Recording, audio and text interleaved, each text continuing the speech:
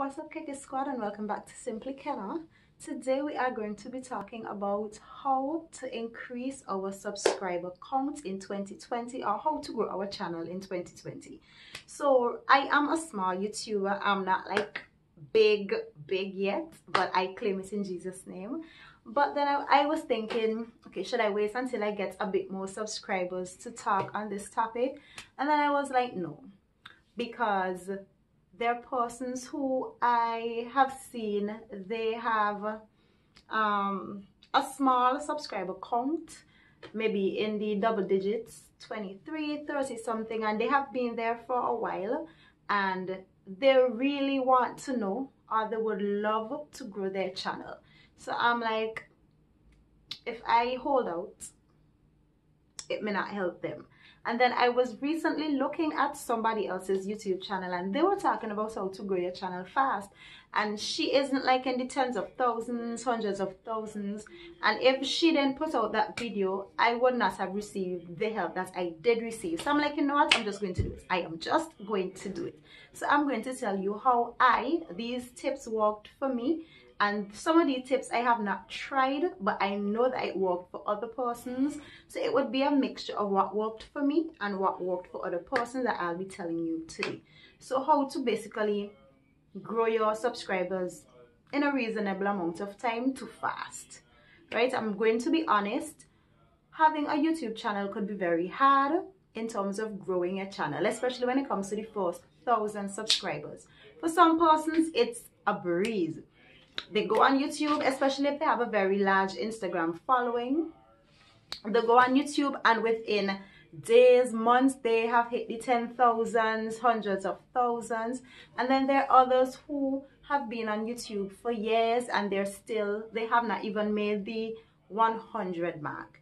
And I mean, what really is the formula for growing your subscribers? It really varies. But I'm just here today just to tell you what I have done and these tips uh these things did help me grow my subscribers. I have them written down here so i'm just going to be looking them from time to time okay? Post topics that are trending. Now this is really really really really really really important. You want to stay up to date. So for instance right now what persons are trying or have been trying it's kind of going out a bit but what persons were really trying was, if we're dealing with hair care or hair products, was the Taraji P. Henson product line. Everybody was doing the review on that. They were doing the review on the gel. They were doing the review on the sugar, the um scalp. Um, the thing is scalp. I don't even know what to say, but the thing that you put on your scalp. Anyway, they were just reviewing her products big YouTubers, small YouTubers.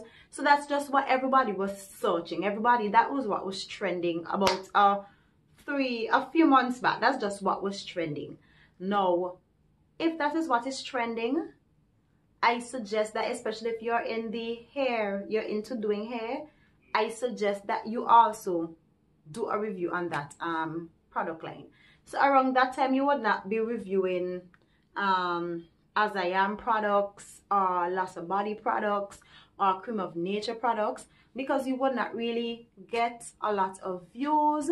Persons won't really be typing that in and will be coming to your channel. What they will be typing in is Taraji P. Henson's products and persons who have been doing reviews on that they will get the views and they would also get the subscribers.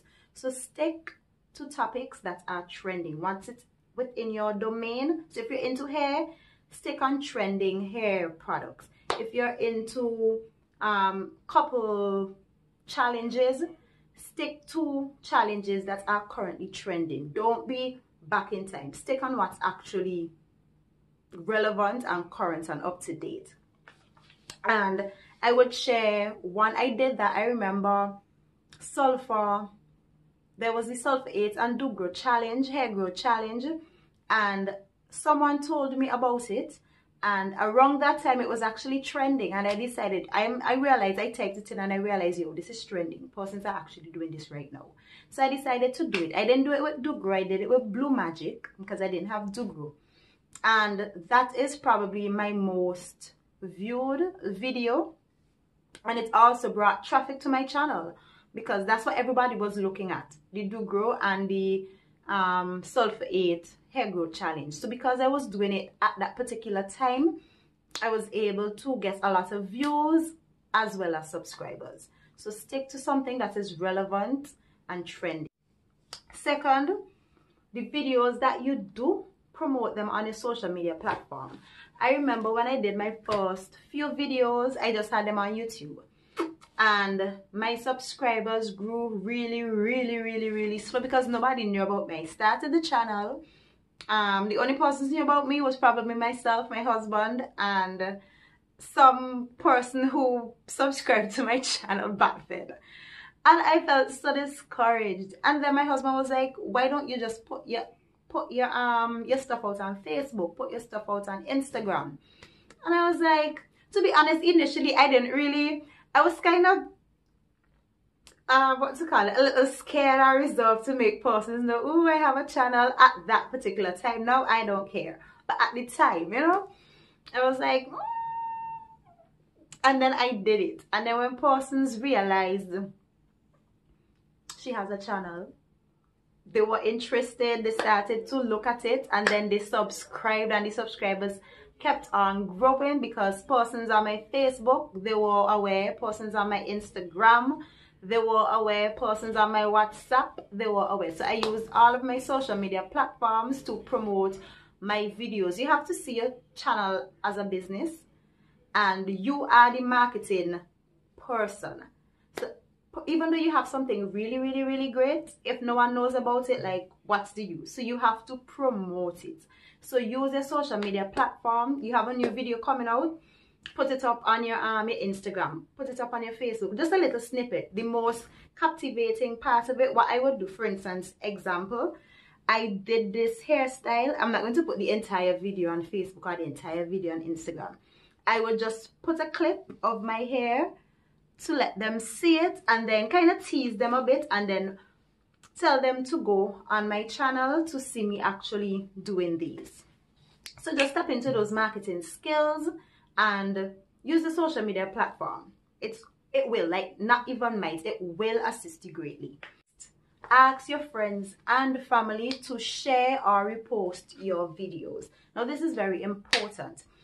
You would get a lot of persons, one once persons know about your channel, you will get a lot of persons on your Facebook and your Instagram However, you would already exhaust that um, avenue because it's the same person that would be seeing it. The same persons that would be seeing. They, just for instance, if you have a hundred persons on Facebook, the same hundred persons would be already know you have a channel, and those who want to subscribe would subscribe. Those who choose not to would not. So what would happen? It would just keep your views consistent and let persons know that you have a new video, but you're not going to get any new subscribers per se. So you need a different outlet. You need someone else to assist you. So ask your friends, ask your family. I'm married. I ask my husband to put it up on his channel. And what I do sometimes, I tag him in my, um, if I have a, a little snippet that I put it on Facebook, I would tag him in it so that his people could see my content. And then there are times that he would post it himself. I've asked my brother, I've asked, mm, my lips are dry. I've asked my sister-in-law. Um, I've asked, I've asked friends to post, to share, and some persons do it without me even asking at all. And one person recently told me that they share my videos to their students and they, they tell their students' parents about the video um, I think that was particularly re related to the weight loss video and I felt so good. I'm like oh, I felt really really good. And there are persons who just repost and I really appreciate those persons. And so yeah but you need to ask. You need to tell your friends or your family I have this new video or I have this my channel. Could you um, share this or could you snap screenshot it put it up on your Instagram put it up on your Facebook let persons know that I have a YouTube channel and could you tell them to subscribe watch my content. We all need the help, so there's no shame in just asking persons to help, basically help your channel grow. And that would assist significantly. So imagine if you have 20 friends posting that you have a YouTube channel and all of their social media um, platform. You know how many subscribers are going to come to your channel just because of that?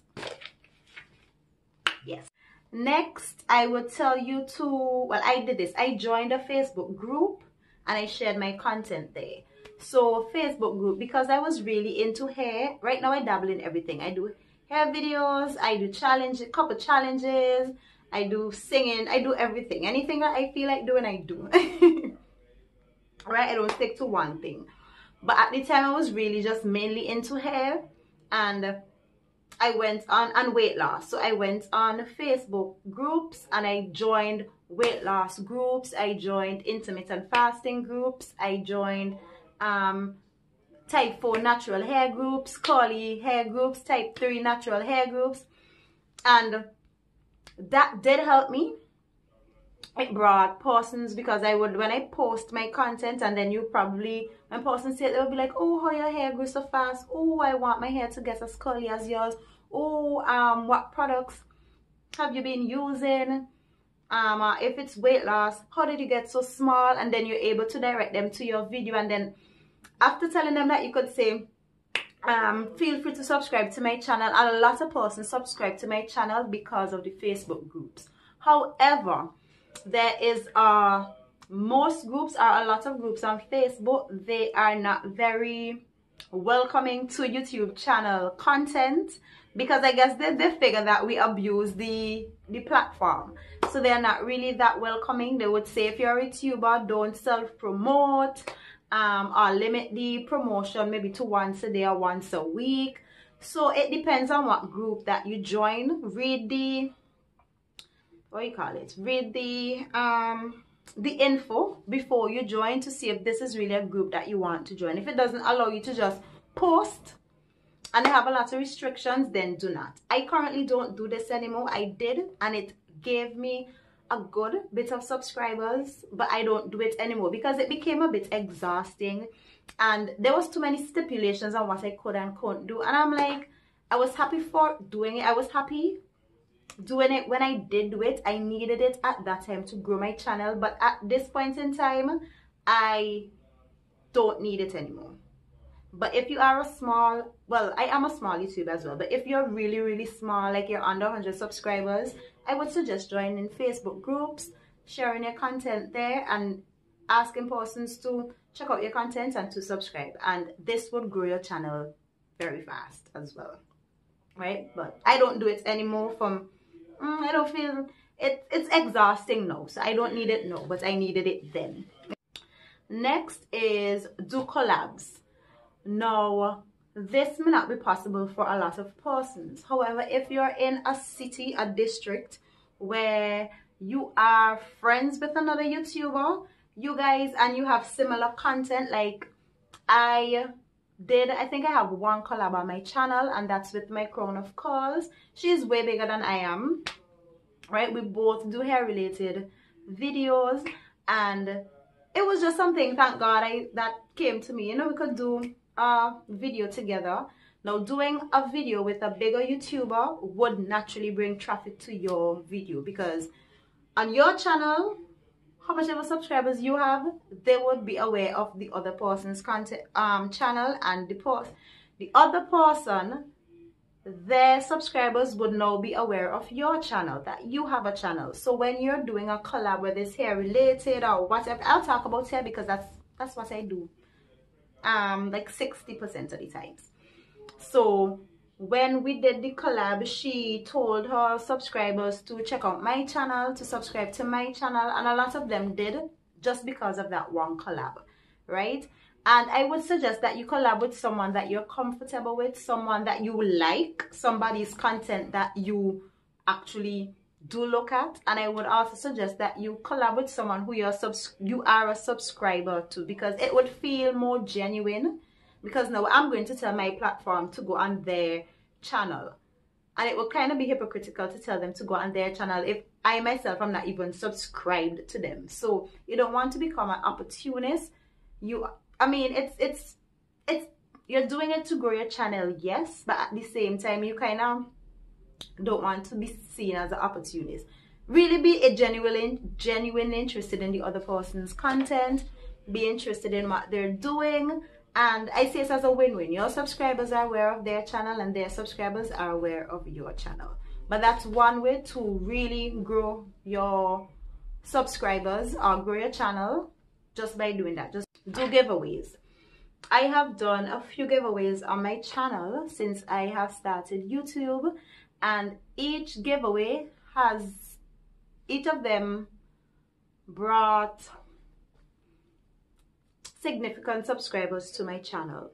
In every giveaway, I would really, really advise that one of the requirements is that they are subscribed to your channel to participate. It makes no sense they participate and they're not a subscriber. So any giveaway that you have, let them know in order to be a part of this giveaway, you first have to be a subscriber. Now this automatically, persons like getting gifts, persons, I mean, I love getting gifts. So I'm, I'm, very sure persons would love getting gifts. All you do, you just tell them you have to be subscribed and then you can have one or two more rules, whether thumbs up the video or whatever it is you want to add to it. But make sure you tell them that they must be a subscriber. This would also carry up your subscriber count really, really fast. What I have, I believe, exclusive on my channel is a Simply Kenna ambassador. And as we all know, ambassador is someone who works on behalf of somebody else. And I, God put this in my head, like for real, it was God. I have this, it's done yearly. I started it last year. I just finished it this year.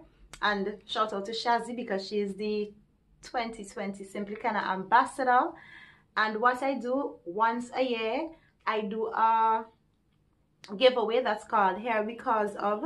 So persons who are already subscribed to my channel, they would use their marketing skills, their marketing strategies to bring as many people as they can to my channel within a time period and the persons who they bring they have to subscribe to my channel and then they comment in the comment section here because of whoever brought them and the most here because of I see that person who brought them would be the Simply Kenna ambassador for that particular year.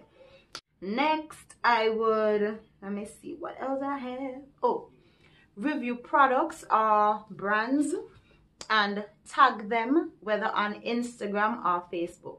So for instance, especially if there are local, like wherever you are, if it's a small um, a small brand, purchase their product, review the product, tag them on Instagram or Facebook using the product and in most cases they would repost or give some sort of um shout out to you trying their product. And because of this persons would know be like who's this person trying this person's product? Okay they have a youtube channel and then they will click on your Instagram, then go to your YouTube and be like, oh, okay, and then they would subscribe. So it's really good to try a lot of small owned, small businesses um, products. Try a lot of products that belong to small businesses and that would help grow your subscribers. I hope you see the link. I hope so. Yeah, I think I was clear. and it's a win-win for them as well because they actually get exposure when you try out products on your platform. Persons persons might message you and ask what's the product about? Um how well did it work? Or oh, i want to try that product. So it's it's a win-win. You get subscribers you get traffic you get views they also get customers. So it, this one is really a win-win.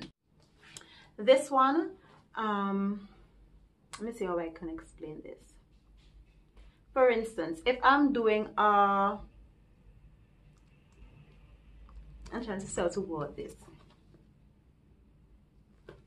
So I'll use hair related, a hair related topic, um, how to flat twist. Let's get back to my lip. How to flat twist. If you just go on um search for how to flat twist, then they would have a lot of YouTube videos with how to flat twist. Focus on those with small um, views. Those with big views, it's just a waste of your time. Focus on those with a small view. Usually that those are the persons with a small um with small subscribers. Small subscriber count sorry. So what you do that's usually a small channel. Click on them. Go on go on the video look at it. And if you like it like it. Um check out the rest of the content subscribe to them and then you could just comment onto under the most recent video. Um i'm a new subscribe say subby. Because i'm a new subby. Um i well if the twist i mean don't lie okay? If you like the twist out then you say. If you don't just don't comment on it the um under the the the thing. So if you like the way the hair turned out you would comment oh your hair turned out nice um, i'm also a small youtuber trying to grow my channel and you could tell them to check out your content and to return the love sub back. And in most cases if they have under a thousand subscribers they are going to subscribe to you because they would see you subscribed. All right so most likely they're going to subscribe to you as well in most cases. So that's also a quick way to and a strategic way to grow your channel but make sure it's someone channel that you actually like because you don't want to flood your youtube with just random people that you don't even watch and never going to watch them again. So find persons who you're genuinely genuinely interested in who have a small amount of subscribers similar um, channel and then comment sub on their channel tell them you subbed and ask to return the love. And that that helps. That grows your channel as well your channel.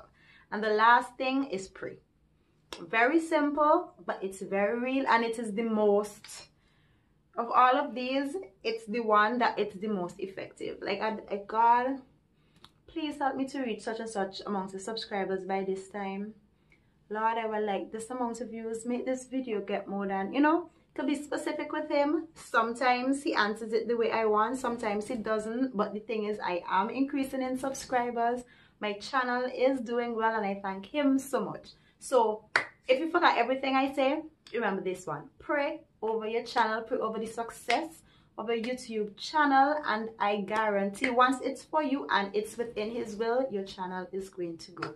Now I hope that these tips helped you. Actually, I know that these tips will help you. So try them out and if you did, comment below when they have worked, when have worked, saying? Comment below and tell me when they work for you and tell me probably how many subscribers you had before and how much you have now by implementing these um, tips. So thank you guys for watching. Have a good day and God bless.